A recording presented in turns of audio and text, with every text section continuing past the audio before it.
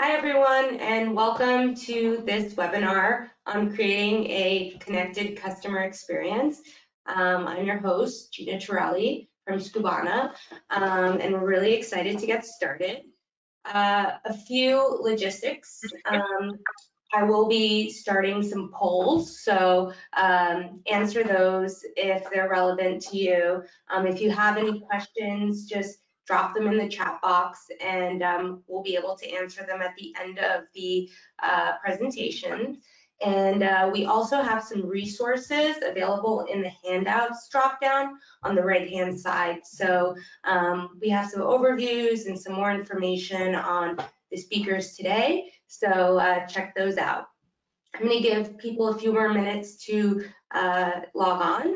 So in the meantime, I'm going to launch the polls and uh, we'll get started shortly.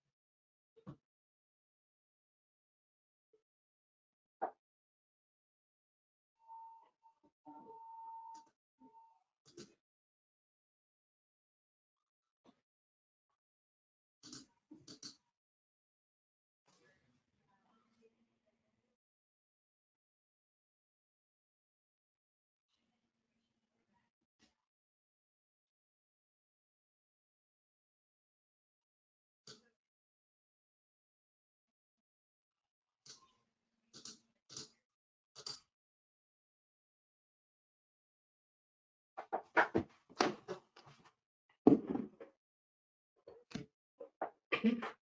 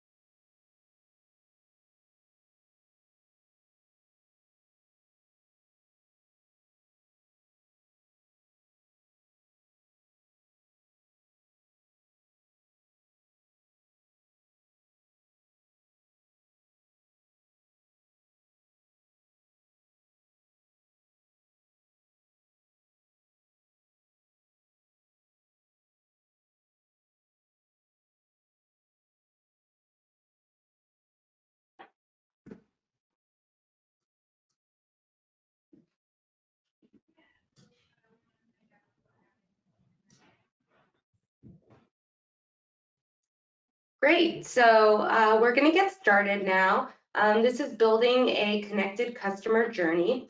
Uh, we're joined by Mute6, Octane AI, Pixelz, Just Justuno, and Refersion. And we have some great speakers today.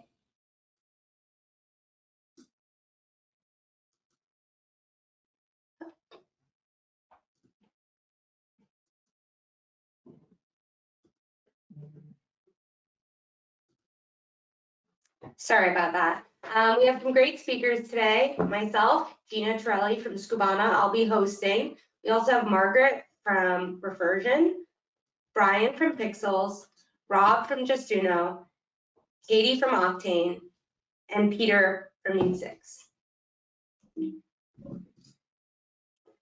So here's a few things you'll learn today. Um, we're going to be covering how to build a connected channel ecosystem, how to attract consumers and attract them using influencers at scale, um, how to personalize your journey with AI, how to power your sales with Facebook Messenger and SMS, how to edit product photos to support sales, drive conversions, and reduce returns, and how to con create contextual messaging that um, can be used across channels and everywhere customers interact with your brand. So let's get started.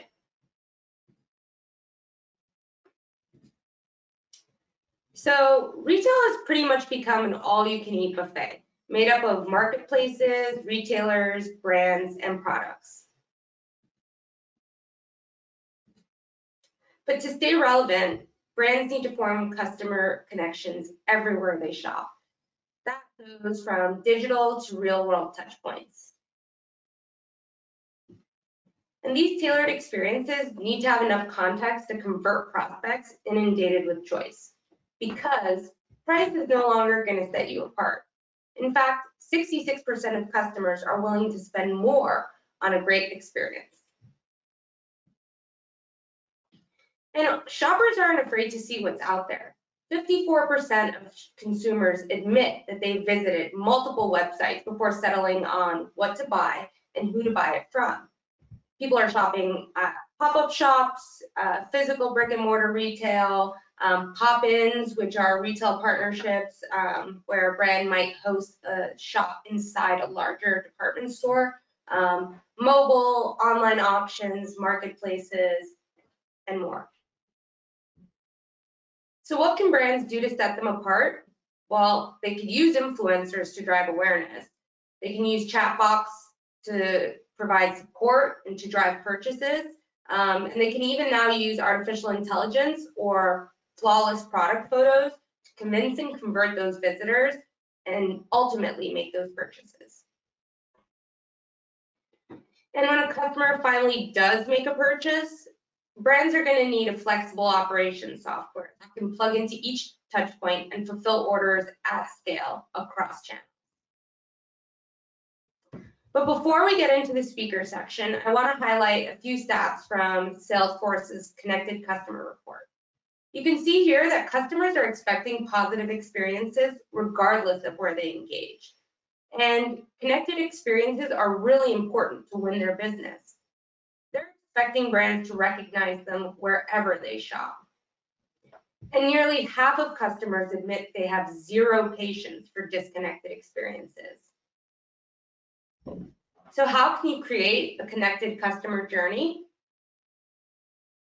with the right technology? So with that, let's get started. Um, I'll be covering the Skubana portion. Skubana is a distributed order management system. It allows brands to connect into each of their sales channels, uh, whether that's Amazon, eBay, Shopify, BigCommerce, um, and automate operational processes like fulfillment, um, purchasing, and more. And if you stay tuned to the end of my section, there will be a little bonus surprise, so stay tuned. So here we go. This is building a connected channel ecosystem system presented by Skubana. Here's what we'll be covering today. What you need to be D2E because it's no longer about being direct to consumer. You have to be direct to Amazon, direct to eBay, direct to pop-up shops, direct to everywhere. And why Amazon is important for your customer experience. With over half of transactional queries happening on Amazon, there's no reason you shouldn't be where your customers are looking for you. And then finally, how to identify your biggest spenders across channels, understanding the value of customer insights so you can build reputation on a customer's terms. So we're currently seeing a widespread adoption of omni-channel retail strategies. Digital advertising costs are skyrocketing as more direct-to-consumer brands enter the fray. Brands are actually being forced to embrace things like offline, pop-up shops, marketplaces, retail partnerships, something that was foreign just a few years ago when everything was just about being direct to consumer. But unifying these channels actually requires a com complex systems that are able to connect to these distributed databases.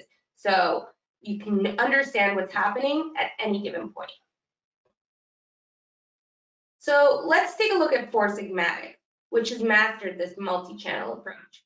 They're famous for their mushroom teas, uh, the legal kind. Uh, not only do they sell on their primary digital storefront, which I believe is powered by Shopify, I mean, they're selling on Amazon, eBay, and even Sephora.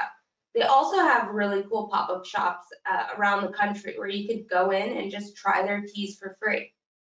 They have a unified experience no matter where their customers shop. So you could see the product descriptions are the same. They have really detailed photos. They've really mastered this multi-channel approach. But before we get carried away, omni-channel ambitions are nothing without multi-channel infrastructure. Here's the skinny. A single sales channel is no longer viable. Therefore, to attract and retain customers, you need to serve them on their terms. But cohesive user experiences before and after conversion is very challenging without the right technology. And let's face it, legacy infrastructure isn't flexible enough to meet the needs of modern omni-channel retail. Multi-channel requires a single view of inventory, orders, and suppliers across sales channels and fulfillment networks. But traditional systems fall short due to limited visibility across channels, return points, 3PLs, siloed operations that only allow you to connect one sales channel to one inventory source. And really this insufficient support for multiple warehouses, multiple return points, multiple sales channels. So why do people want to embrace multi-channel? Well, because there's some benefits. Things like higher profitability on a SKU by SKU basis, because by understanding the sales velocity uh, per channel, you could change your inventory based on demand.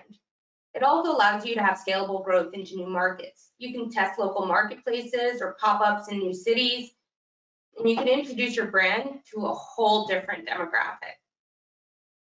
It also allows you to have efficient and timely fulfillment workflows. So when you have, when your experiences are connected, you could literally fulfill from anywhere, from your store, from your warehouse, from a 3PL, across the border in Mexico, you name it. And um, you also have strategic and flexible inventory allocation, which is pretty important. Say you're selling out of Amazon, you can add more inventory there. Say you're not selling too well on Shopify or eBay, you could pull your, your inventory back and stay profitable. But most importantly, connected experiences lead to better customer experiences and ongoing loyalty. You can see here that businesses um, with strong omni-channel strategies retain about 89% of, of their, their customer base. That's nearly three times the amount as uh, companies with weak omni-channel strategies. So there's really no reason not to at least try. Um, so remember when I said legacy systems can't handle the operational workloads of multi-channel retail? That's where Skubana comes in. Here you could see Skubana taking in orders from Amazon, Home Depot, Shopify, and more. They're all organized in a single screen and a single dashboard where you can also manage your inventory, your shipments, your customers, and get a deep dive on analytics to see how your channels are performing. Here you can see um, just a breakdown. This is only 14 channels. We can connect to hundreds of channels, marketplaces, big box retailers, uh, shopping cart apps, you name it. And you can even set fulfillment zones to save time and money. Uh, when UPS went zonal, it became very expensive to ship from the East Coast all the way to the West Coast. So you're able to automate your shipments based on the recipient's address to make sure it's cheaper, more affordable, and it gets there faster. So now that we know you need to be DTE, let's talk about the elephant in the room. Just because a brand is successful with their primary storefront doesn't mean they should forego selling on Amazon. Nowadays, a lot of brands are hesitant because of misconceptions about the level of control and opportunity on the platform. They believe their audience that shops on Amazon may not fit their ICP, or that if somebody wants to buy their product, they'll come right to their site. Uh, they might believe that listing and advertising fees are just unprofitable. Um, and you can see here Nike, IKEA, Allbirds, Birkenstocks, Away. These are brands that currently don't sell on Amazon. But the fact is, if you're not being seen, you're not relevant. Whether or not you're on Amazon, your customers could still purchase your products from third-party sellers. Let's take away luggage, for example. The keyword away luggage is getting roughly 75,000 monthly searches on Amazon, even though the brand has zero presence there. So you're seeing competitors like Travelpro and Samsonite, and of course Amazon Basics, really take that share of query, uh, of query volume. And it really makes no sense for Away to at least not have one suitcase on there. You know, consumers prefer centralized experiences that are personal, user-centric, and convenient. And most customers will actually go to Amazon if a brand can't meet their speed or price. So let's get back to the customer because that's what it all comes down to. Here are some things you should always keep in mind. You need to have a presence everywhere, whether that's Amazon, eBay, or Sephora. Um, even if it's just a single SKU, we like to call that a diamond SKU. It's just about having a presence there and controlling your presence. Because if you're selling your products, you'll more than likely be the first result for that branded keyword search. Um, you'll also want to identify big spenders and repeat buyers and reward them for their loyalty. Customers like when you make them feel special and unique. So whether that's including a direct mailer or a special promotion on their next purchase, uh, a little goes a long way. And just one last thing from Skubana. We have two incredible features that allow you to identify customer value across your channel. This report uh, actually reveals the, the value and frequency of returning customers. So all the way on the right there, you'll see those are customers that have purchased with you 10 or more times, their average shopping cart value, and more. And here you have a list of your top most frequent customers. So you can identify who to send that reward to uh, next time around. And lastly, the bonus offer I was talking about, we've created a super exclusive Slack community all about e-commerce and D2C brands. Um, so if you follow this link, you'll be able to access a questionnaire, um, which is essentially the application to get in. And inside, you'll get insights, you'll be able to connect with D2C leaders, um, and we're really excited about this. So be sure to check it out.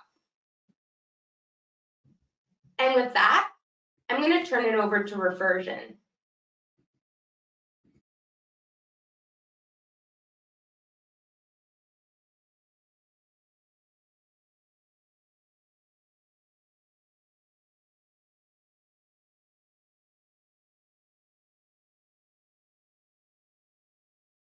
Hi there, this is Margaret. Thanks so much, Gina. Great, Margaret. Take it away. Thank you. Let's see. Alrighty. So thanks everyone for joining today. I am from Refersion and looking forward to speaking with everyone. Let's get started here.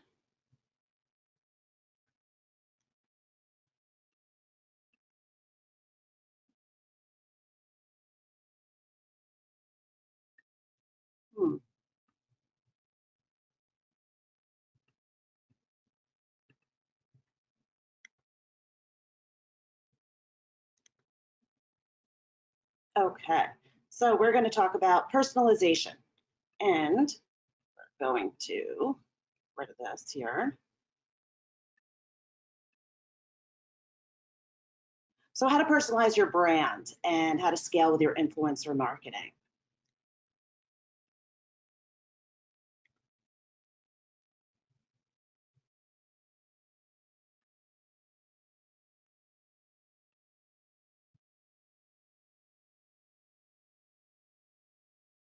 Okay, here we go. Sorry about that. So personal, this thing is a little sticky.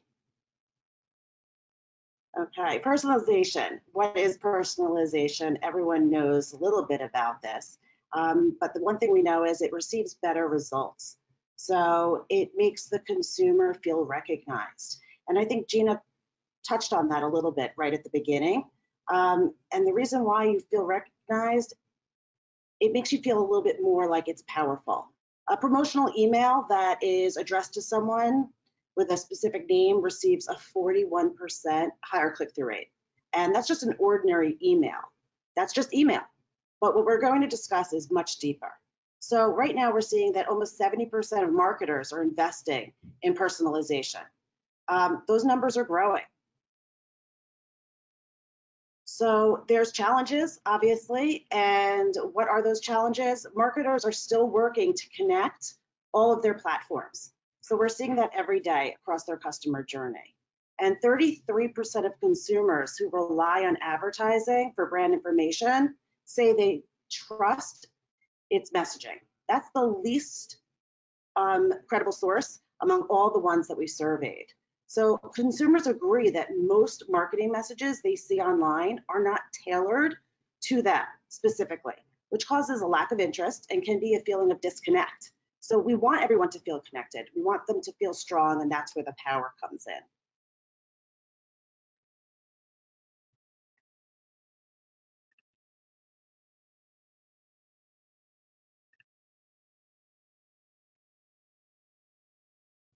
So what is an influencer? It's a big word right now everywhere. Uh, an influencer is someone who has uh, power. They have the effect of the purchasing decision because of his or her authority, knowledge, position, or relationship uh, with the audience. So a following of a distinct niche, uh, one with whom he or she engages with actively, and the size of the following really depends on the size of the topic or the size of that specific niche but we're seeing 49% of marketers reporting an increasing spend in their influencing marketer, and that was in 2019. So it's growing, and there's a reason why why it's growing. So why are influencers so great? Influencers are really good because they build a specific community. They are speaking to their audiences directly uh, on a one-to-one -one basis. They know the topic, they're passionate about the topic, and they drive engagement think about something you just even bought yesterday. It could be a pack of gum because someone said that flavor tasted good. And it could be a neighborhood that you decided to even go look at to buy a potential house. Everything these days are due to recommendation. Um, one of the best things actually is not only do they believe strongly in what they promote, they're doing a lot of the marketing on your behalf. And that's just because they are absolutely interested, engaged, and want to tell others about what that specific topic is. So there's challenges, obviously, though, with influencers. How do you measure them? How do you know the success? What are the metrics? Um, it could be how do you get someone to speak on your behalf about your brands and how do you get them to scale? And that's really where Refersion comes into place because we are the platform that handles that in a very easy, nimble fashion. So um, we've helped lots of other people do that when they want to tap into their influencers and figure out what's working and what's not working. And as we mentioned, there's a bunch of different influencers out there. Some you may be familiar with. So there's the mega down to the new one, which is really the super influencers, which is a really new term to me as well. You know, your mega influencer is probably that one that you're talking about is like Kim Kardashian, who's out there and they have millions and millions of followers. You have your macro influencer, I'm sorry, your macro influencers. Um, they could be your professional cre um, creator with strong passion for a specific subject. There's also the mid tier. There's also a nano. There's probably several different nanos on here. Um, that could be 1,000 followers, someone that is just knows that you have a specific niche on some specific product and you know a lot about that and they're following you. It could be your friends and that's the audience that you've picked up and they really take that to, to heart. So the super influencer, what is the super influencer? Uh, again, that's a new terminology that's coming out rapidly. And the super influencer is something that we should be aware of. They are one in every five consumers who are driving others from awareness. Consider um, different strategic postings. That's what they're looking for. They're people who have self-expression through brand-centric user-generated content. So they're really kind of an influencer within an influencer. And 18.5% of all US consumers are super influencers. Um, again, they're always on the hunt for new products via social media. They are buying all that brand centric content that they are passionate about again, and they're sharing that online. And they see this as a way of really building their online status and expressing their personal brand. So it's a growing segment among much younger consumers. So you're going to see the Gen Z and the millennials. And um, it's amazing that over 54% report that they would be an influencer if given the opportunity. They don't want money. They don't really care much about that. I'm sure they would take it. However, but it is something that they really feel strong about and they want to share their opinion. So how do you scale? um, how do you build that influencer? How do you build that ambassador? You have to recruit, you have to get them in. They're really your best and loyal customers. That is the number one thing I always tell people when they say, well, how do I build my affiliates? How do I build my influencers? They are right there. They are the people that are buying from you over and over. They are the people that are writing into you, complimenting you about your brand. Um, a great way to recruit them is make them feel like they are your best customers because they are. Be personal with them, message them, keep them happy, get their ideas, talk to them, speak to them, and listen to them. So that's your communication. And then also, you're going to want to incentivize them somehow.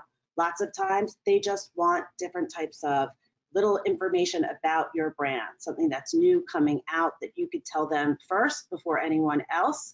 Um, also, any type of gift card, percentage off, even types of swag, that's a t-shirt, a sticker, something like that, helps out, makes them feel happy, and makes them feel like part of the team. So that's a little bit about influencers, how to get them there, how to scale. Happy to talk to anyone online, offline. And if you are interested in Refersion right now, if you look at that link, um, Skubana offer, we are offering a month trial on our platform if you'd like to sign in, log on, try it out, and we could walk you through um, how to get started. Thank you, Margaret. That was great. Um, I'm going to pass it over to Robbie from Justuno, um, and he's going to talk about personalizing a customer journey using AI. So, Robbie, uh, you should have keyboard and mouse access now. Take it away.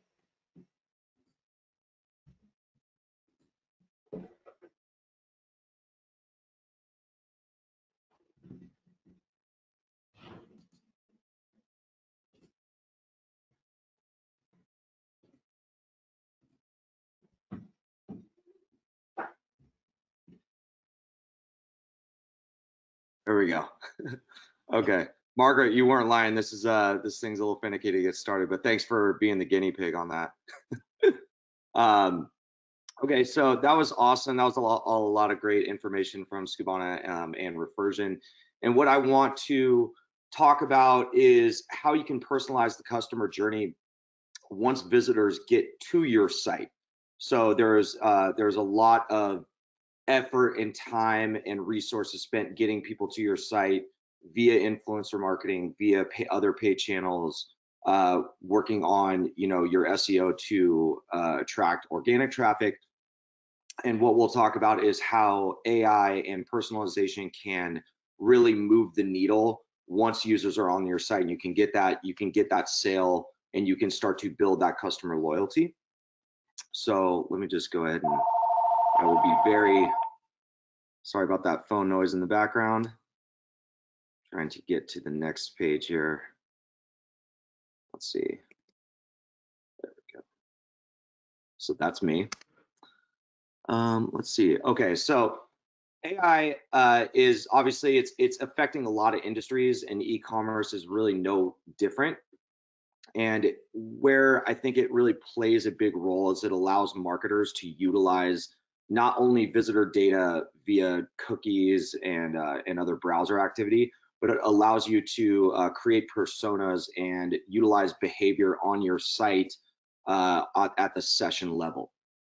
So, and I think that this is even more true, and we've been talking about a connected customer journey. It's it's easier for digital native and digital first brands to create that experience and to sort of harness the power of UI and what uh, what Margaret and Gina were already talking about and what everybody else is going to be talking about. If you're a digital first or a digital native brand, I think that um, the the power is in your hands to really kind of take advantage of, of this um, uh, in a in a really strong way. Um, AI, at least in the form of personalizing content on site, in many cases automates this process for your visitors and for your customers by creating personas. Um, that's what we'll get into a little bit with what uh, with Justuno's Commerce AI feature. Um, but it really kind of answers the question of what does this visitor want based on what they and others like them have seen, what they've clicked on, or even what they've previously bought and that allows that the way that automates it for you is it creates algorithms and feeds people through algorithms to show them content based on what has worked previously essentially. So um, it really can cost prohibitive amounts of money and effort like i said to just to get people to the site. And uh, those costs are only increasing. So it makes sense uh, to spend more time and and resources making sure they stay on the site and they actually convert. Um, this is where AI is sort of the crux of it because it it is scalable and it is personalized and it's sort of set up so that you can um, you can actually put it on your site. You can put it in certain content areas and it can automate it uh, without you doing more work beyond that. So let me get into a couple of uh, uh, let's see, a couple stats here. So uh, one of our partners, LoyaltyLion, um, ran a study and they found that 74% uh, of customers feel frustrated when content is not personalized to them, along with 65% being actually motivated to be loyal because of uh, seeing personalized offers. And uh, beyond that, we found that, uh, or they found that 61% um, were motivated to purchase by by seeing personalized product recommendations, which we'll get uh, more into.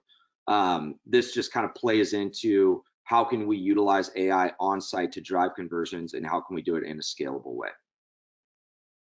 So um, another another kind of newer uh, conversation that I've been having with some retailers and partners in the space is a lot of people uh, think that AI is emerging as an eventual alternative to cookies and fingerprinting, which are becoming less and less popular.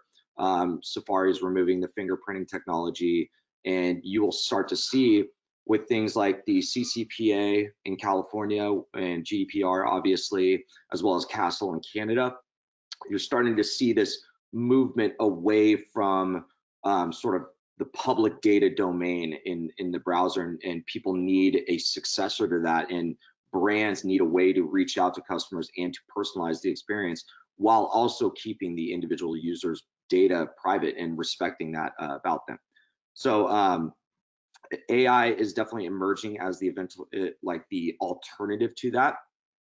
And what it means is that it allows you to, to make a shift away from tracking data points uh, through a browser session and utilizing available, what will be the remaining available data points eventually, as well as uh, feeding them, like I said, into an algorithm that makes increasingly accurate predictions about a visitor and what their intent is on the site. And most AI products that that will be available or currently are available allow you to sort of still segment and filter those algorithms based on the type of visitor and create multiple experiences on the site um, while also having um, you know the utmost respect for for data for data privacy so with that i'd like to get into a little bit about uh, why Justuno built our ai product we've always been known as kind of the the, the email pop-up software and um, we're for a long time we've been moving away from that into a full CRO suite. Uh, and so this being the AI piece is really our most recent and biggest product addition. Uh, it can be used uh, as a layer in in any display type, uh, and such a you know you can use it in a banner, you can use it within a page, which is certainly probably the most popular option, um, or even in a pop-up. And these are all product recommendations being shown in these multiple display types, uh, which ultimately this gives you the flexibility to shape the experience, drive uh, conversions, and still have do all of that alongside a really positive user experience on the site. You can experiment with different ways of showing product recommendations. Um, one great example I can think of is a lot of people in the current state, even if you are using UI for your uh, product recommendations on a product page, that is usually happening far below the fold, maybe above, maybe below a reviews section. And what you can do with Justuno's AI is you can actually drop that into a banner.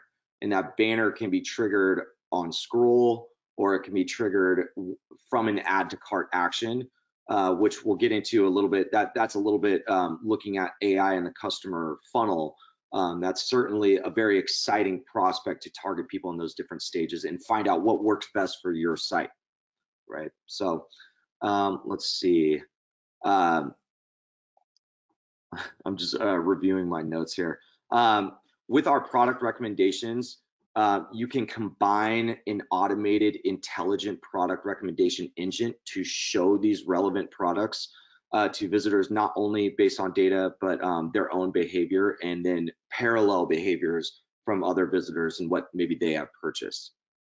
So um, talking about uh, going a little bit further too is uh, you can get into upselling and cross-selling using AI. And this is becoming a lot more popular you're using a slide out cart and you want to show something in an in like an upsell window or a bundling opportunity within uh, within your slide out cart, for instance, you're able to do that, set that up once, and then it's automatically going to present um, products that are most frequently bought or most viewed with what that person just added into their cart. So um, let's see. Let me go to the next page here. So I want to talk a little bit about uh, AI in the marketing funnel and things that you can do. This I was sort of just touching on this with different ideas, but you have probably different goals unless you're someone with a very low AOV store. Uh, if, if you're sort of a mid-range, if you're over 60 to 100 dollars in AOV, you're probably looking at funnels more closely and maybe defining different goals for different stages of that funnel. So how can you use AI in each one?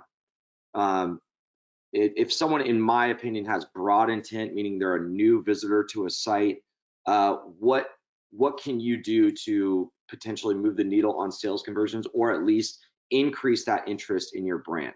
You can do things like um, you can personalize the experience based on a paid channel that maybe they click through, which sort of fits into, I think, what we're all discussing today you can um, you can show what's most popular. Um, what we might usually recommend as a strategy for utilizing AI is showing recommendations more in pages that reveal what the, that show the recommendation once their intent is revealed. So if they get to a product page, you know there there's a little bit higher intent there. There's a little bit more of a reason to show product recommendations or some sort of personalized content there, uh, aside just from knowing the channel that they came from. Uh, we have uh, algorithms to use for this that is just show the most viewed products on my website. Further down the funnel, um, someone's uh, viewing a product or maybe they're returning back to the site. I would argue that generally the goal changes from that point and you go from a let's show them what is most popular to let's show them what they previously viewed let's personalize the experience based on what this person was looking for. And um, once we get our, our goal will be to get maybe an add to cart action. And we want to influence that right? So algorithms that you might use that are out of the box for Justunos Commerce AI are most purchased or what you previously viewed. And we also bring in filters so you can filter that based on you know a shopify customer tag or a or a product tag or a category or sale items for instance. So um so maybe if you're a higher aov store maybe you want to show returning visitors some sale products that um, that they might be interested in. So further down the funnel once you get to someone who has previously added to cart uh, or their previous customers even that goal is purely let's get them to convert right um, offer an upsell or a cross sell to previous customers because you know that they'll buy and then you can see you can start to see major lifts in in AOV uh, by showing them upsell and cross sell promotions. And we have uh, tons of examples of people doing this now. And it's all about keeping that journey personal to that user based on what they've already added to cart. And it makes your life a lot easier when AI is determining what product to show in that uh, in that regard. So um, this is another point to use our algorithm filters um, to, to filter based on tag, based on you can force include items that maybe you know only repeat purchasers um, buy. So let's see. Going to the next slide here. Did I get it? There we go. So um, let's see we offer a few out of the box ways for you to take advantage of scalable AI, meaning it won't be, this does not have to be a daunting task or really kind of a time suck to get started. Uh, like I said, we offer five starting point algorithms to help dictate where products uh, or what products to recommend based on given data. So we have an upsell algorithm that is going to show relevant products to the one being viewed at a higher price. We have a cross sell algorithm that will show relevant products in different categories. So think like, you know, red t-shirts with black pants or something like that. We also have a generally most viewed algorithm and most purchased. And then our fifth and most recent is what that specific visitor previously viewed. And so these are great starting points and they're out of the box and you don't have to do anything except create, you know, select that algorithm and launch it. However, we do offer what I mentioned before uh, were filters. And these filters were part of a feedback loop that we got from our customers saying essentially, you know, we love the algorithms, but we want to filter this and create yet an even more granular drilled down experience. Um, some examples of how you might use filters would be product tags um, only show women's t-shirts for this particular, um, you know, if someone's only shopping in a women's category, only show them women's t-shirts um, show out of stock bestsellers so someone can get on the list the next time it's around. And this is especially, you see this very commonly with like furniture uh, retailers, uh, like AllModern or Article um, or CB2, people like that. They will constantly ask you to submit your email if an item is out of stock once you've gotten to that product page because they know it's a bestseller.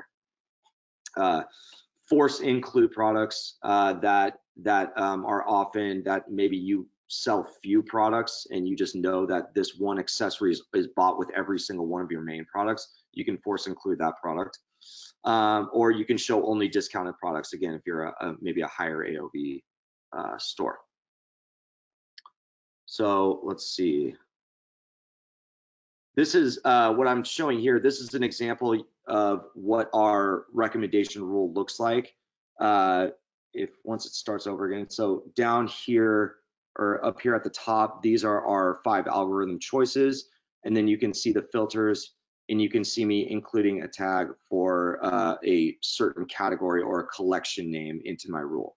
So that's me customizing my algorithm even further and allows you to run, if you'd like, you can run multiple algorithms on different pages. So here's some data to, uh, to back up what AI is doing for the on-site product recommendation experience. So it's an upsell, meaning it's showing relevant products at a higher price. Um, and Shannon Toad sells uh, sells baby clothes and accessories. And so uh, it's used based on it's on a product page right now, so you can see it down at the bottom, uh, sort of scrolling page here. Um, it recommend it recommends similar items at a higher price, uh, and then if you know if there's always a fallback option, right? If there's not enough data to produce this, then you can show most purchased products. So overall, they've seen 9.72 engaged conversion rate from this uh, product recommendation, which means that almost 10% of the people that view this click through it to a similar product and end up purchasing.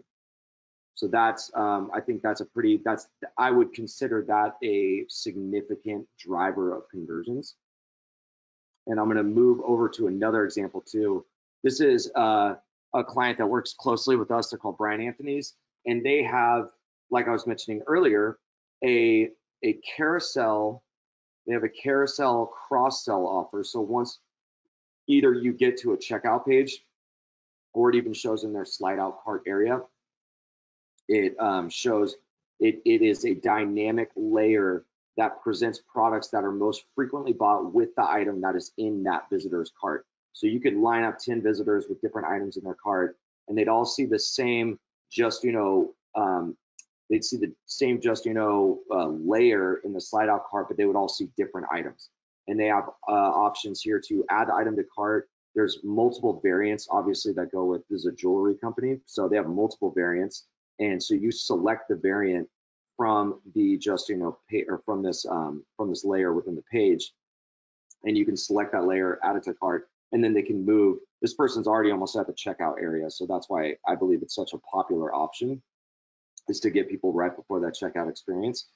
Um, and so they've seen a 2.3% lift in company uh, revenue since launching this in the first three months since launching this. And so 126% in, increase in engaged conversion rate um, over standard opt-ins with discount. So they're comparing this to offering a discount when you submit your email, for instance, which we don't want to take anything away from that top of funnel, but this is very bottom of funnel. So where I think you can take what the most I think you can take from this um, 126% number is probably, you know, when someone gets to this stage and this close to checkout, is it better to offer them a great deal on another product versus trying to get them to go through a barrier like entering their email for a giveaway or entering their email for this cross sell product? I would argue no. I would say your goal is to get the sale, so get the sale. Um, and so let's see here. So with Justuno, how can you get started? Uh, Justuno Plus is one of our starting starting um, offerings that allows you to run Commerce AI on your store, um, get your product and order feeds into Justuno's uh, algorithms, and it also offers offers um, a great service level side where you're working with a customer strategist that is not only helping you run Justuno Plus, but they're also giving you a roadmap for your first three to six months using our product um, and how you can uh, drive the most ROI and, and target as many different segments, high value segments as possible. Um, that's it for me. Uh, my name is Rob Hammett. Again, I'm the Director of Solutions at Justuno. Thank you very much for listening. And if you'd like to reach out for any reason, there's my email right there. I'm happy to help. Thanks, Rob. Uh, that was really great, super interesting uh, to see how Justuno is leveraging AI uh, to enhance the customer journey. Um, next, once you've targeted those customers, how do you convert them with engaging photography? um, I'm going to pass it over to Brian from Pixelz. Um, Brian, you have mouse control now, and um, I've unmuted you, so take it away. Cool, thanks guys. Robbie, perfect intro here for me. We're gonna get you guys now some high converting content to uh, use in your Justuno uh, AI driven pop-ups and uh, and widgets here. So make sure that you guys have some great content for influencers and uh, all the multi different channels you're selling on here. So um, with that, let me make sure I can click through.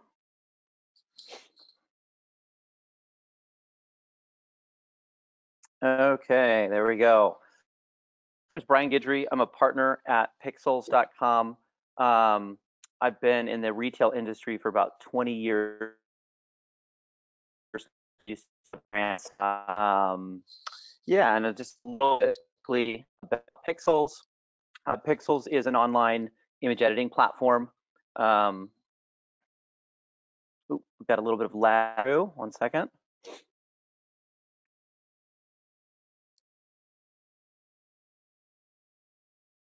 Okay, there we go.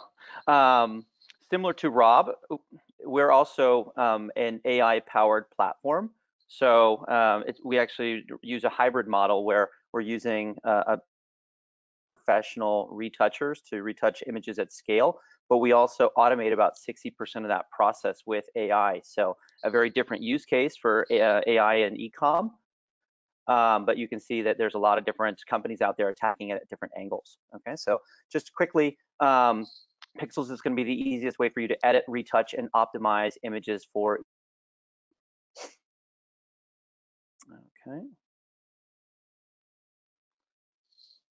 Uh, Gina, I've got a little bit of a click-through issue, but we You will. also use the keyboard if that Yeah. is easier.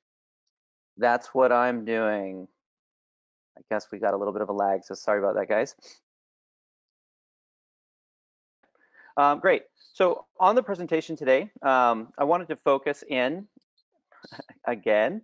Um, we're going to show you, I think the first is about how to prep images to, um, yeah, really to start driving conversions, okay? Second is going to be about creating immersive product content. So what kind of content do you actually need to be creating across that um, that you're exposing your, your buyers to. And then three is really just tying it all together and adding consistency um, across the board to, to really start driving more sales and also to reduce returns. Okay, so with that, we'll dive into the first strategy here.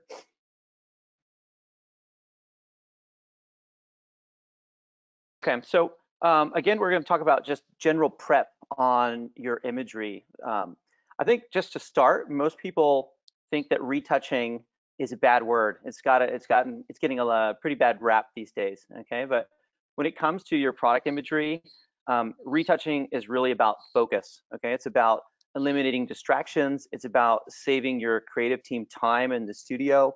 It's about reducing returns, and it's also about increasing sales. Okay, so um, what we're talking about here, I've got several different examples. We'll just run through them quickly because I'm sure most of you are familiar um, with the types of uh, retouching out there. But yeah, you know, here we've got a mannequin. We're, we're removing that, stripping it from your product imagery, right, just to allow your customers to focus in on the product itself. Um, simple things like symmetry and removing wrinkles and you know we're not doing anything to distort a product image here but where product shines and it really kind of giving it the best foot forward here when your customers are exposed to it. Okay. Um, you'd be surprised even how many major retailers are are just committing some very basic things. Um, you know, in footwear, obviously, uh, white background is pretty standard these days, but even things like glue and dust and thread and made-in labels and sizing, all of these things can actually distract your buyers from the actual product that you're trying to sell them, right? So it's about trying to make sure that they're focusing in on uh, on that product.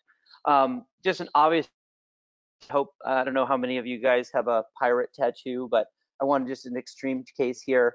Um, you know, this is again, you know, I want the the I want our buyers to be focusing in on the product, not the latest tattoo the model comes in on, right? So just things like that. We're not talking about body shape. We're not talking about the, the bad word retouching here. These are just basic things we can do to make sure that we're really representing our brand the best way possible. Okay. Um, yeah, so, you know, a lot of people think, you know, retouching isn't going to have a significant impact on their sales, or maybe it's not even relevant for their brand. We, we hear that a lot. We work with thousands and thousands of retailers.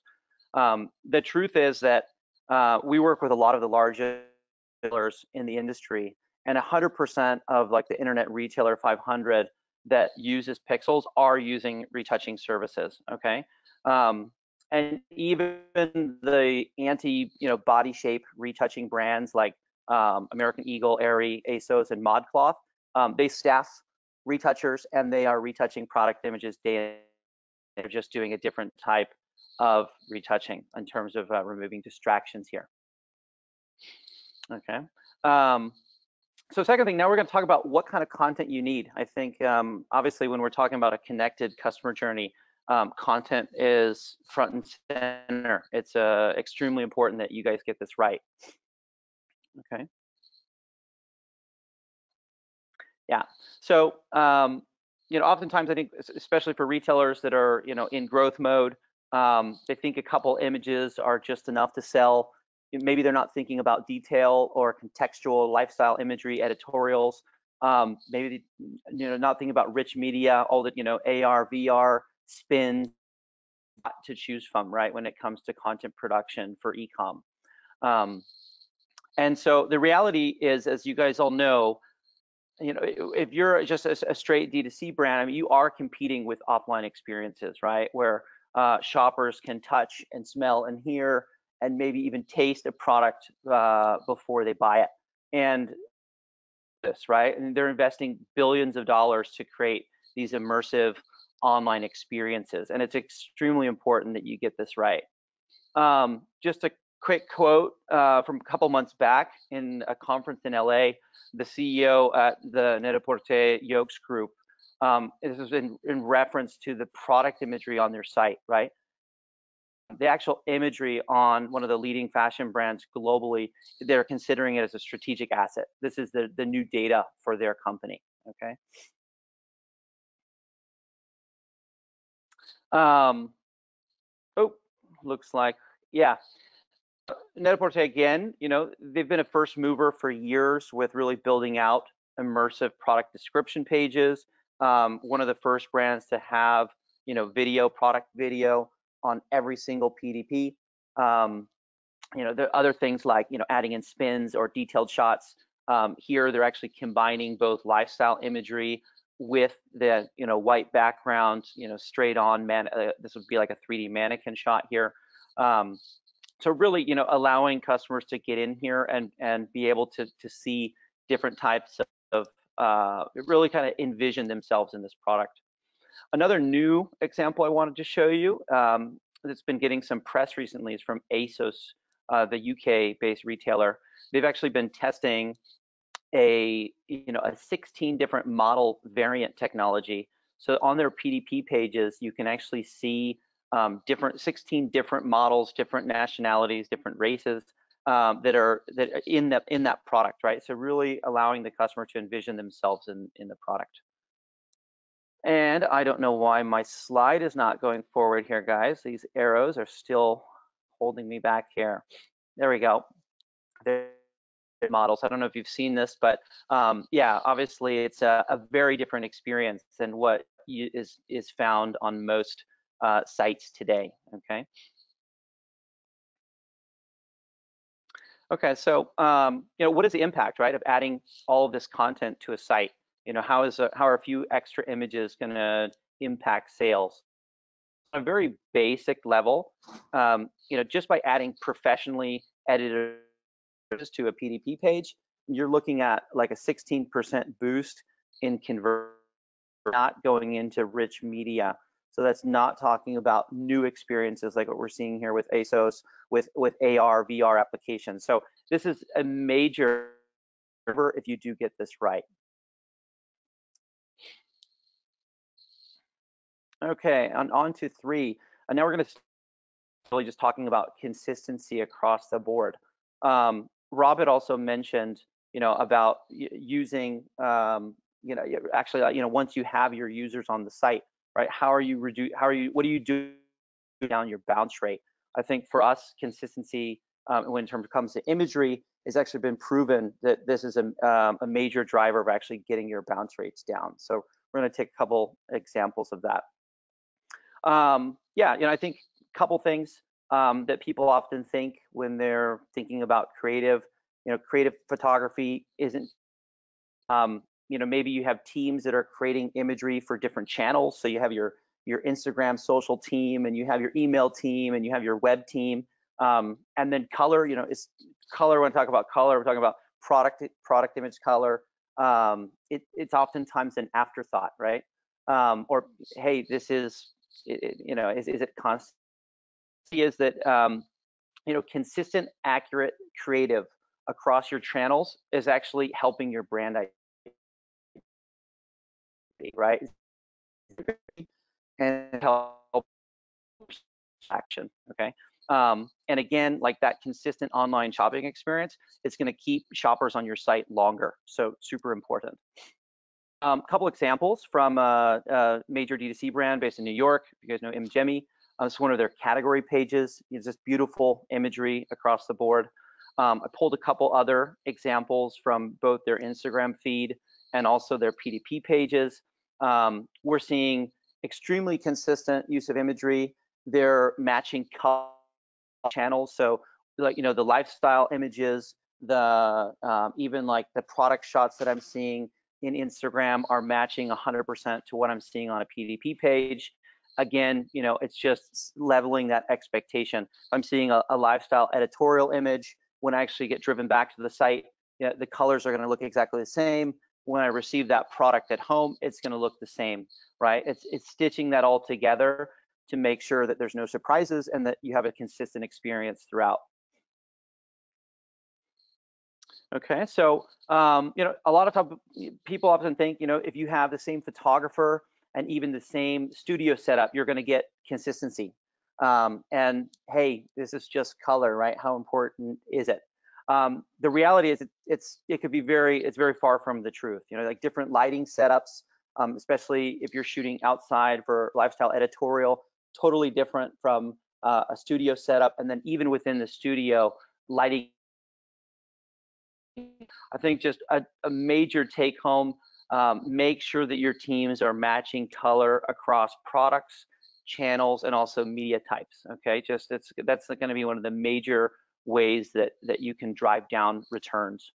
Okay, um, another tactic that you can use is have your teams create you know, a style guide for you know for category specific style guides okay just so that every time you're processing imagery it's done in a consistent way um, and that the teams involved know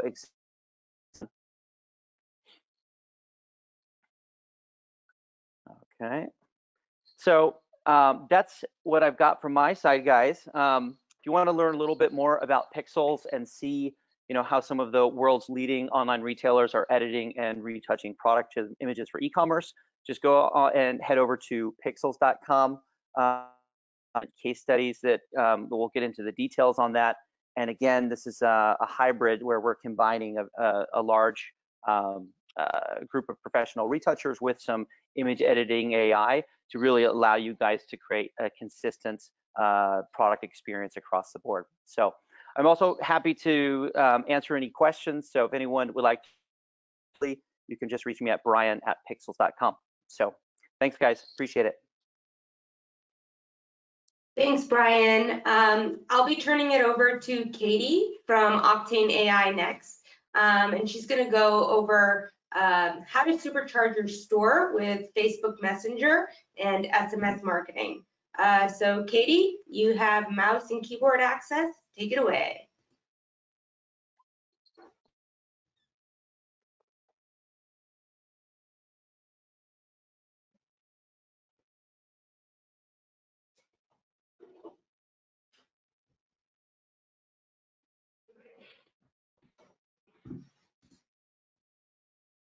Katie, I think you have to unmute yourself. There we go. The unmute was sticking there. Um, how's everybody doing today? I hope well. So I am Katie. Um, I am from Octane AI. And if you have any questions at all during this whole presentation, please feel free to email me directly. I'm katie at octaneai.com. So before I start, um, we did a little poll that asked you whether you're using Messenger and SMS marketing, and roughly half of you are, half of you are not. Um, so I'll first cover what is Messenger and SMS marketing. There we go. So at its basic level, Messenger and SMS are two channels that you can reach customers directly. Um, so you can send them new product launches or timely messages, personalized messages. Um, the power is that you can reach people directly when you have that important message. So typically they have higher open rates um, and it's really underutilized by brands. But these are also two channels that are pretty scary for brands to implement. Um, they don't know the best way to go about it. How often do you message your customers? What type of messaging do you use? Are you going to implement the same or strategy you use for email? So it's a bit daunting, um, but my number one piece of advice here is to not implement the exact same strategy that you use for email. So these are two separate channels, um, but they work best alongside email.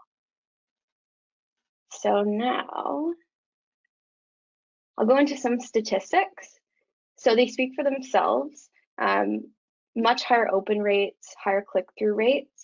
Per message, you can typically see a much higher return on investment, um, generating more revenue per message than a regular piece of communication on email.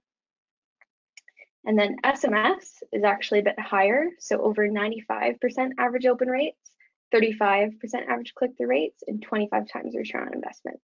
So even if you have a smaller messenger or SMS list, um, you can actually generate more or equal revenue to a much larger email list. Um, but that definitely comes with a lot of careful planning, strategy, how you're going to message somebody, um, and when you're going to message someone. So how do you successfully build out your messenger and SMS list?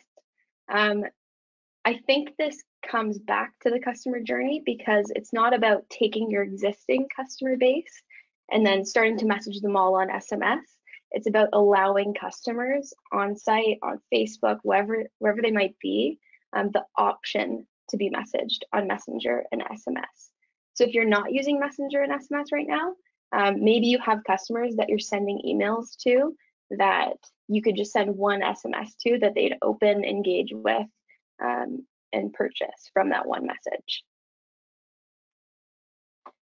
So you can embed opt-ins onto your site. So for Messenger, um, you can embed a chat widget, you can have pop-ups, checkboxes on your add to cart, under your add to cart button.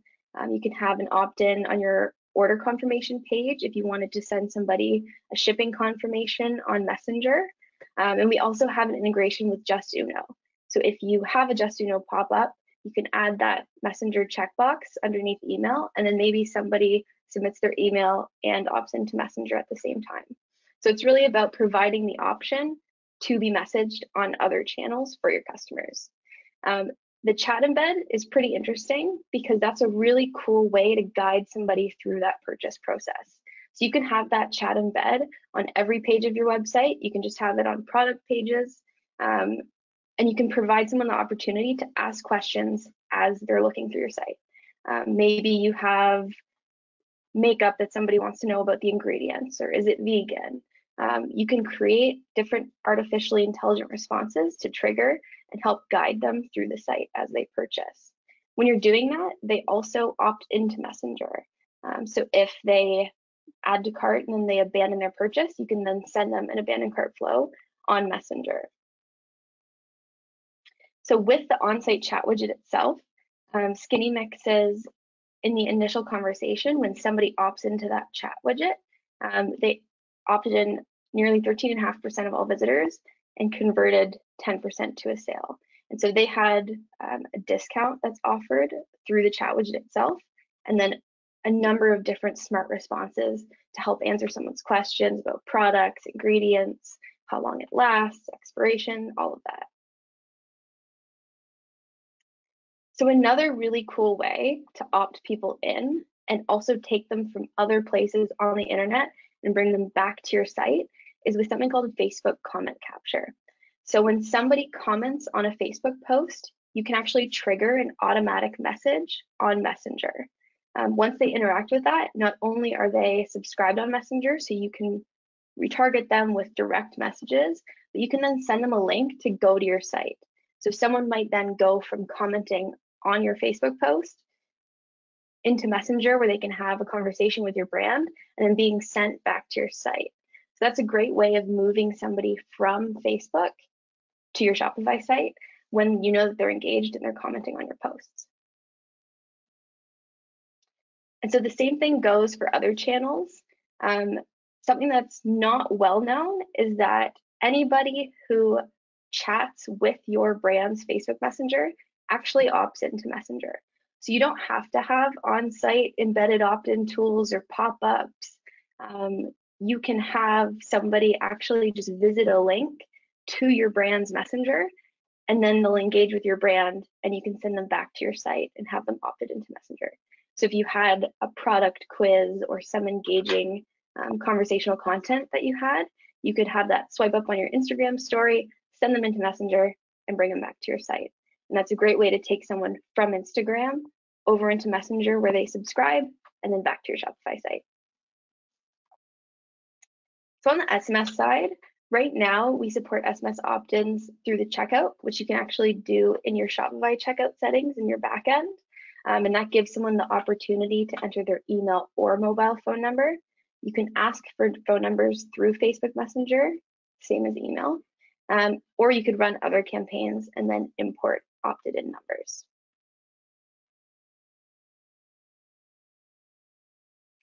So asking for data through Messenger is really powerful because you can get extremely creative. Um, so Rick Ross, who's one of our customers, does a good job of this. So he has a VIP um, menu item that someone can request an invite to, and then he asks, "What's your email address? What's your phone number?" Um, and in the top there, he says, "I'll send you a message when I when I got something new." So that lets the person know that when they give this information, um, they'll likely be messaged on that channel. So adding in that language is pretty important just because it sets the expectation that someone will be messaged um, if they provide their email or their phone number there. Messenger and SMS, it's most powerful when it's used alongside email. Um, so if they're a Messenger subscriber, maybe don't send them a full email flow. Instead, send them something that they can interact with directly on Messenger. Um, so if you're a coffee brand, send them. Oh, there we go.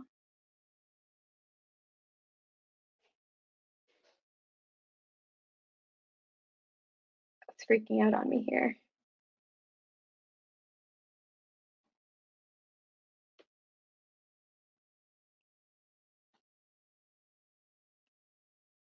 Now I know what everybody was talking about. there we go. So if you're a coffee brand, um, maybe you send them an interactive conversation about what kind of coffee they like. If they answer that they like dark roast coffee versus blonde roast, you can actually use that data to send them more personalized messages. So instead of just blasting your SMS list with, hey, we have a sale, hey, we have a sale, you say, hey, Brian, I know that you like dark roast coffee. Um, we have this new product that just launched. It's going to go quick, but we thought you'd like to know about it. And that's a really great way to build a relationship, to send a personalized message, um, and also to generate more revenue just because it feels more personal. So here are some engaging campaigns that you can run. So if you're running Facebook ads, this is honestly a huge no-brainer. Um, how most Facebook ads work is somebody clicks the ad, they're sent to a landing page or to the site, a pop-up occurs, or something to try to capture their information like email. Um, and then you chase them around the internet with retargeting ads with your Facebook pixel. So if you're not using click to messenger ads, they're super easy to use. All it does is it clicks or it changes that call to action from a landing page to messenger. So when somebody clicks that ad, they're sent into messenger where they can engage with content that you've set up, ask questions, and be sent back to your site. Um, when they do this, you now have their information to retarget with a direct message instead of more ads on the internet. So Earthfed Muscle, Muscle actually did this. All they did was switch their regular ad to a click to messenger ad, and their return on ad spend went up 14 times. So using ad copy and ad content that already works and just switching it is a really great way to test how a click to messenger ad works um, and start to increase your messenger list as well. So this is what we typically recommend starting with, um, a prospecting ad to a new audience using your best performing prospecting audience, um, offering maybe a discount, exclusive content, and then also running a retargeting ad.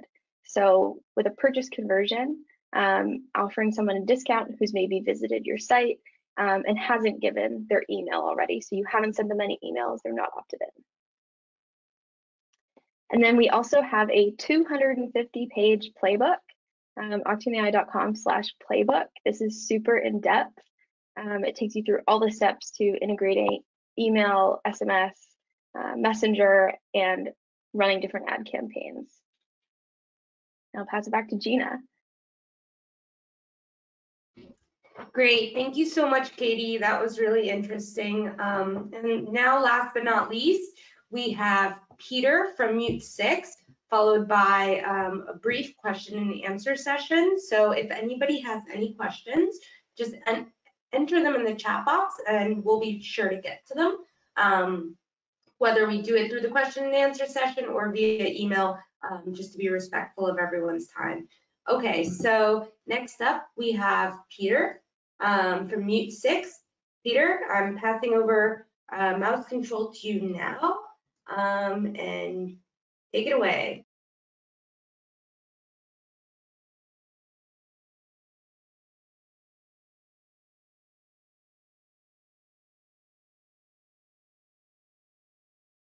And there we go, ladies and gentlemen. Sorry about that break while we waited for the mute to turn off. Uh, hello and hi, welcome everyone. My name is Peter Star Northrup. I'm here at Mute 6, and me and my exceedingly shiny forehead are trying to put an exclamation point on this awesome presentation.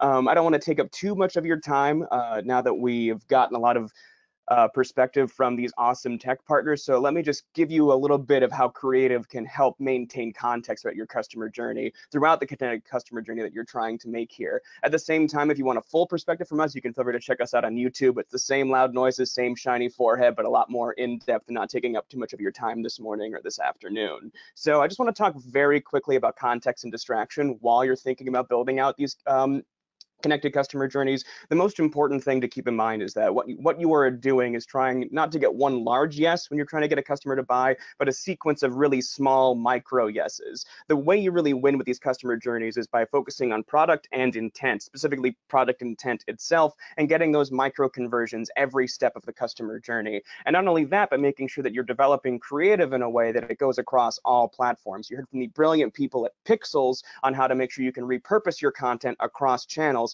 Doing that maintains context, which is going to overall increase your ability to buy across every aspect of your marketing stack. At the same time, uh, if I could give any recommendation to folks in the audience who are looking for a single channel to focus on right now, it's absolutely influencer. We have an influencer team here at Mute 6. It's the fastest growing team we have here. And Refersion is also doing some really stunning things when it comes to influencer management. It's a really interesting and unique place to work. And instead of like being a part of your Instagram or Facebook stack, what it's turning into is its own channel with its own context, which is absolutely gigantic. So be sure to, um, if you had to focus on anything top of funnel, focus focus there, build these influencer relationships, get that UGC, get that influencer content, and you're going to see just absolutely insane uh, return on ad spend there, considering that influencer marketing can be very, very cost effective. At the same time, folks, I want to make sure that once you are in the actual marketing platforms, let's keep in mind that the whole reason we're talking about a connected customer journey is that all of this ad spend, all the cost in these platforms on Facebook and Google,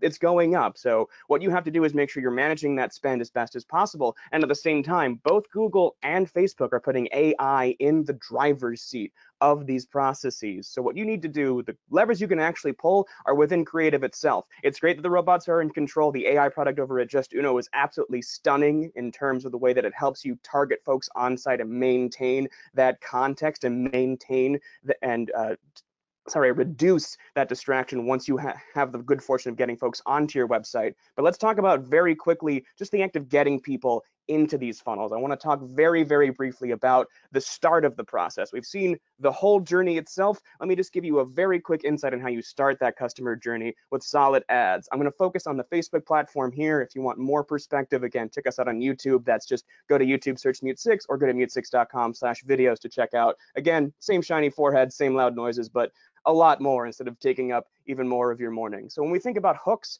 I just want to make sure, and I'm sorry for the lag that the slide's going to cause. You're probably going to see me just completely blur out right now. Forgive me for that. But at the same time, when you're thinking about hooks and you're thinking about building creative, focus on your products and excite your audience with that product. Create a little bit of interest by showing the product in use. Focus on the product itself. Don't pan out focus in when you're doing your shoots, when you are building out creative, if you work with an agency, if you do everything internally, focus on your products itself and build that curiosity. And I'm gonna go away from that slide just to make sure we don't blow up.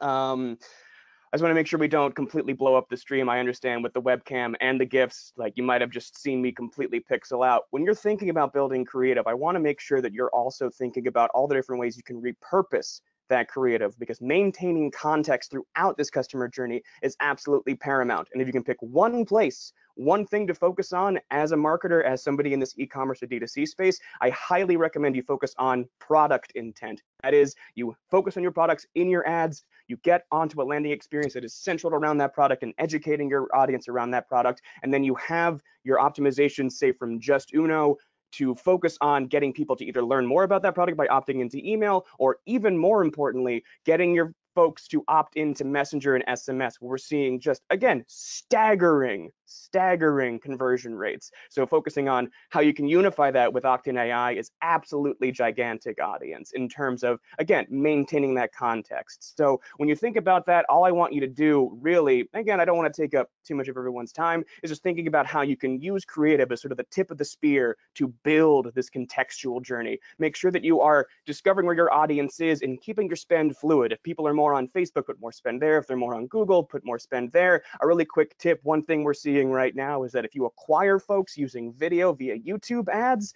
and retarget them in Facebook, we're seeing that sort of acquisition spend in Google is a little bit lower. And at the same time, retargeting spend in Facebook is also a little bit lower. So play those two platforms off of each other by utilizing uh, services like Justuno to build out the actual email list you have. Make sure you maintain that context on site, maintain that context throughout the platforms via your creative, and you're going to have a great time building this connected customer journey. At the same time, make sure that when you're doing your shoots, you're thinking about ways to repurpose all of your creative so it all looks the same. This is why a service like Pixelz is absolutely critical when you're trying to build these connected customer journeys. And the most important thing, I've kind of alluded to this the whole time, is developing those network effects, finding ways you can get the duopoly to play off of each other, making sure that you're on Amazon as well. If you're a D2C company and you're really just starting out, we, at the very beginning of this, Skubana pointed out that it's absolutely paramount to be on Amazon. If you're not on the Amazon platform, you are absolutely leaving money on the table. So keep all this in mind and get, find ways to have all of the information you get from all of these customers on all of these platforms. Find ways to use your website as the hub around which all of those marketing um, perspectives revolve around, and you're going to see incremental growth. That's essentially the whole ethos here at Mute 6, if I can get through that in like literally uh, less than five minutes, but make sure that when you're on site, you're tailoring all of your landing experiences to match the context of every ad. You do that either via building a bunch of landing pages, which is what we did back in the day, or using utilizing services like Justuno to contextualize every single part of that customer journey.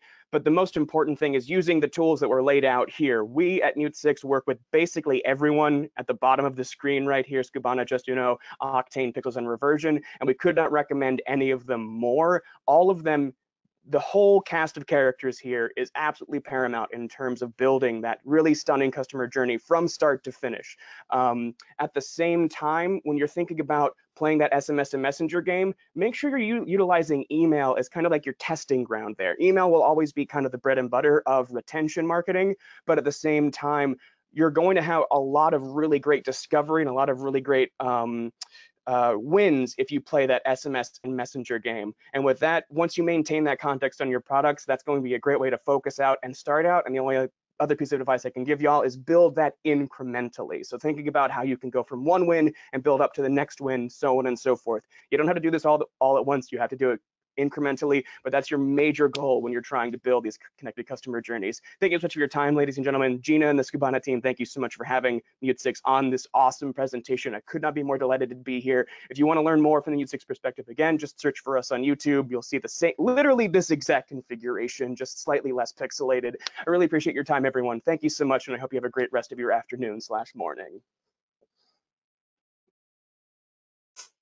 Thank you so much, Peter. Um, we're actually out of time today. Uh, so if anybody has any further questions, um, you could email me directly or you can contact any of these uh, great brands uh, through their site. I will be sharing a recording um, within the next 24 hours, so you'll be able to rewatch this um, at your leisure. Uh, thank you, everyone, and thank you so much to our panelists for taking the time out this morning um, and sharing all these insights with you. Have a great rest of your day and week.